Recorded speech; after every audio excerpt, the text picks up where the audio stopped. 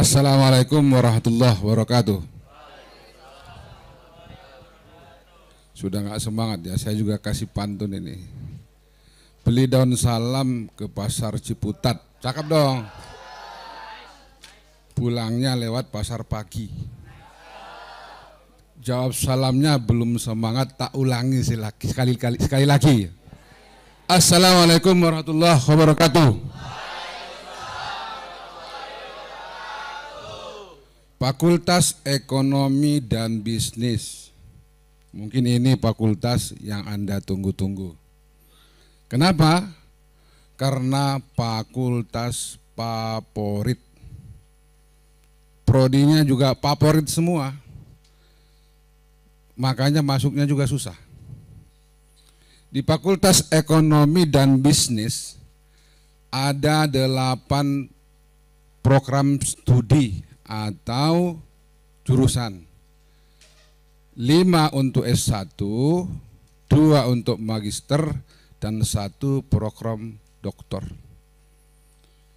Untuk lima program studinya yang pertama manajemen.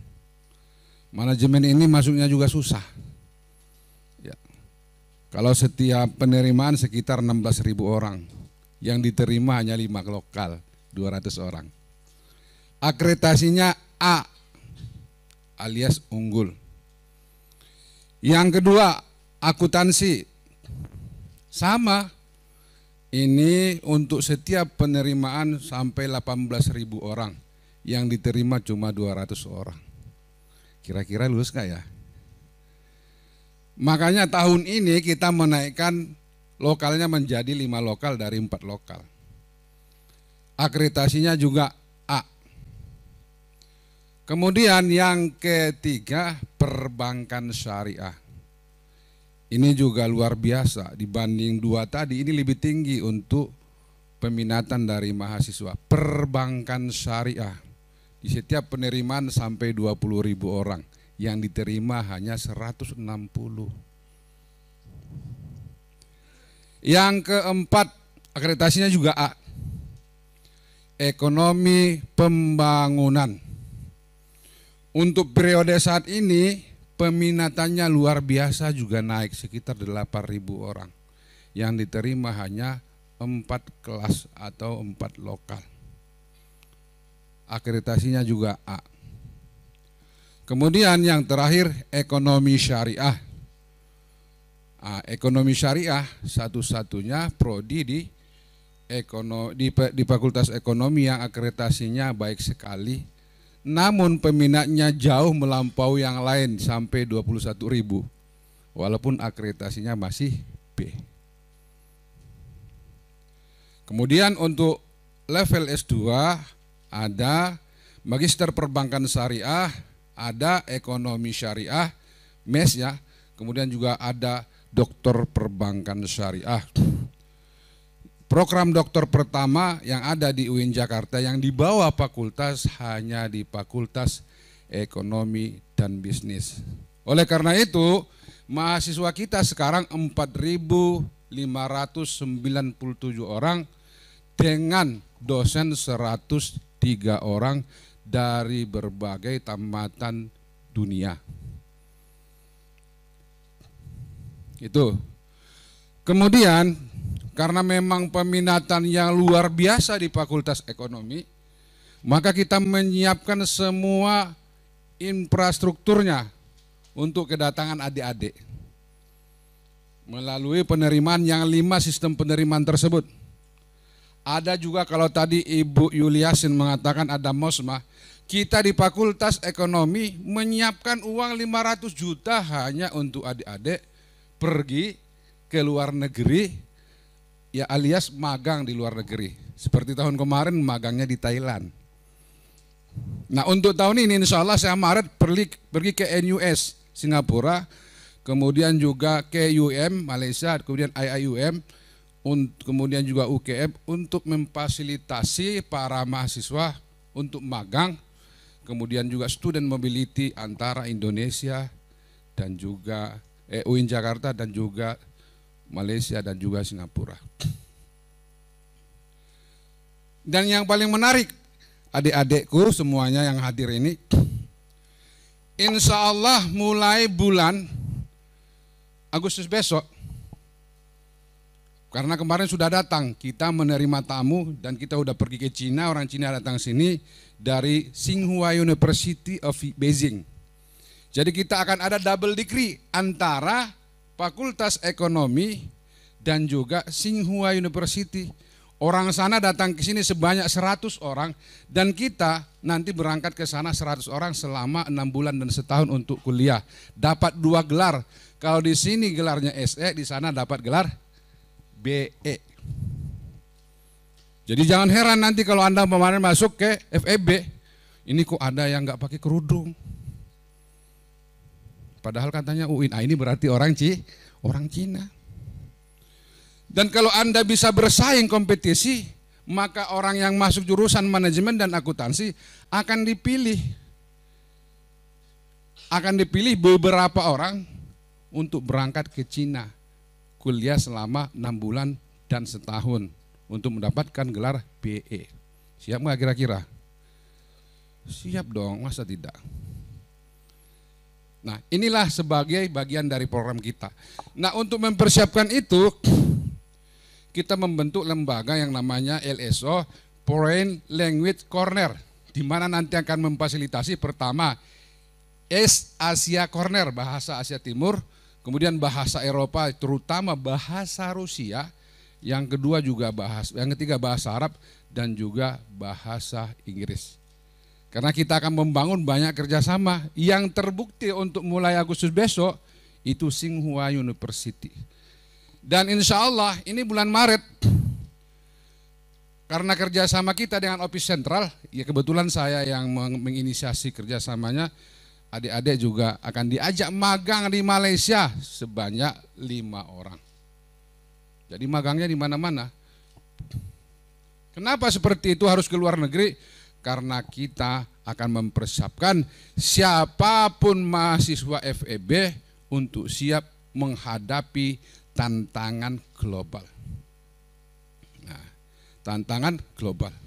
Makanya tingkat keterterimaan FEB di dunia kerja itu sangat tinggi Bapak, Bapak adik-adikku. Sekitar 70 persen. Loh kenapa FEB tingkat keterterimaan kerjanya sangat tinggi? Apa bedanya FEB UIN Jakarta dengan FEB kampus lain?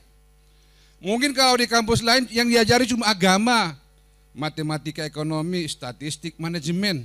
Tapi kalau adik-adik masuk di FEB kita ini bukan hanya diajari ilmu ekonomi, ilmu konvensional, tetapi juga diajari ngaji, diajari juga bahasa Arab, diajari juga ekonomi Islam, diajari juga bertauhid, diajari juga berakhlakul karimah.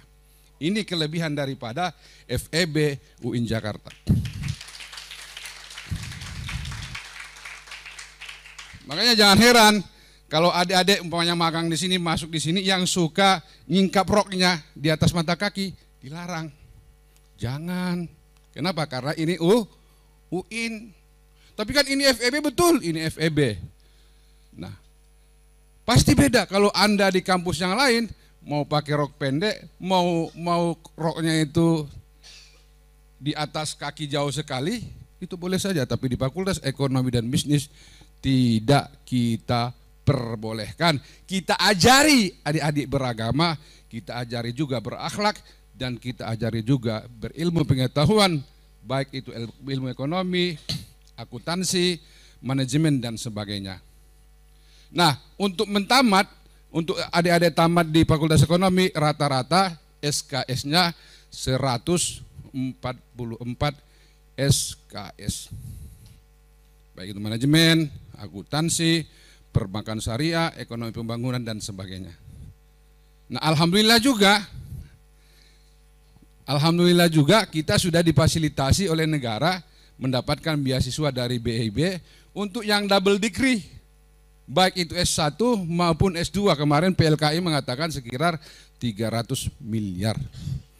Jadi oleh karena itu adik-adik persiapkan dirinya mudah-mudahan tertarik untuk masuk di FEB tapi kalau Anda nggak serius, susah masuknya. Susah. Tapi yakinlah kalau Anda sungguh-sungguh berdoa kepada Allah dan Anda juga tahajud dong gitu kan. Insya Allah akan mudah masuknya. Jangan cuma karena dipaksa, jangan cuma karena ingin saja, tapi juga berusaha. Mudah-mudahan adik-adik masuk di fakultas favorit ekonomi dan bisnis UIN Jakarta. Siap ya kira-kira ya? Siap ya? Oke, mungkin itu saja saya nggak berlama-lama. Mas coba profilnya sebentar diperlihatkan sedikit mas. Bagi yang belum pernah ke FEB, ini lagi gedung kami ya. In this era, everyone should keep up on improving their skill. Sharpening competence and creativity is imperative to do. Faculty of Economics and Business, Syarif Hidayatullah Jakarta, has a purpose to develop the learning quality in the economics and business field, which is based on research, case study, information technology, and innovation. On May 20, 2002, IAIN Syarif Hidayatullah Jakarta officially changed to UIN Syarif Hidayatullah Jakarta, inaugurated by the Vice President of Indonesia on June 8, 2002.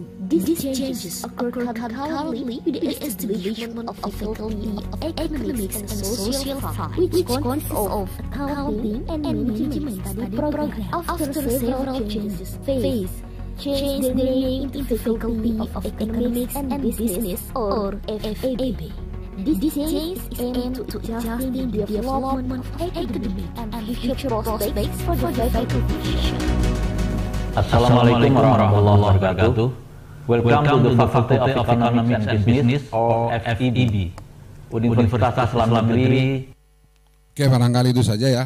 Jadi yang terakhir ingin saya sampaikan karena keterminatan yang luar biasa untuk Fakultas Ekonomi dan Bisnis itu tadi di depan gedung kita akan bangun gedung baru dengan dana alhamdulillah sudah disetujui sekitar 200 miliar supaya kita membuka jurusan-jurusan yang lain, prodi-prodi yang lain terkait dengan ekonomi dan juga kelas penerimaan untuk akuntansi, manajemen perbankan syariah, ekonomi pembangunan dan XR itu kita tambah bukan hanya lima lokal tetapi juga sampai 10 gitu. Jadi insya Allah ini sedang dimulai dikerjakan, insya Allah tahun 2025 mulai pembangunannya, mohon doa ya bagi adik-adik sehingga keterterimaannya semakin mudah. Itu saja ya. Oke. Oke, mungkin ada yang ingin bertanya tentang Fakultas Ekonomi dan Bisnis, boleh langsung angkat tangan.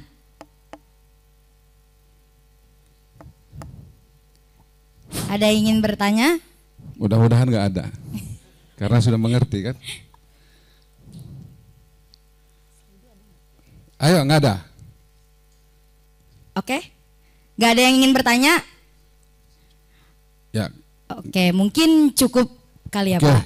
itu saja.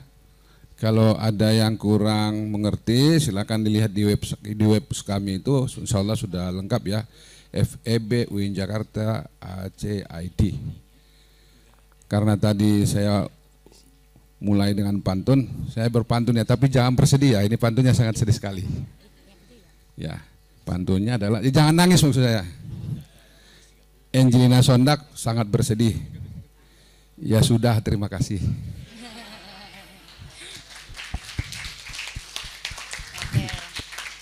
Terakhir, Edisut makan tomat, thank you so much. Assalamualaikum warahmatullahi wabarakatuh. Waalaikumsalam warahmatullahi wabarakatuh.